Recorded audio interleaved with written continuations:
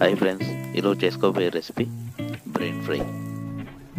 ముందుగా ఇలాంటి ఒక ప్యాన్ హీట్ చేసుకొని అందులో రెండు టేబుల్ స్పూన్ ఆయిల్ వేసుకొని ఇలా సన్నగా తరుక్కున్న ఆనియన్ వేసుకొని బాగా ఫ్రై ఫ్రై చేసుకోవాలి.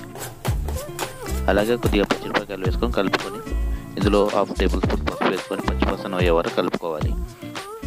మీ రుచికి సరిపోయేటంత ఉప్పు వన్ టేబుల్ స్పూన్ ధనియాల పొడి కారం వన్ టేబుల్ స్పూన్ వేసుకొని బాగా కలుపుకోవాలి. అలాగే ఇప్పుడు ఇందులో ginger garlic paste half tablespoon వేసుకొని పచ్చివాసన అయ్యే వరకు బాగా కలుపుకోవాలి. ఇప్పుడు ఇందులో బ్రెయిన్ వేసుకొని నెమ్మదిగా కలుపుకోవాలి.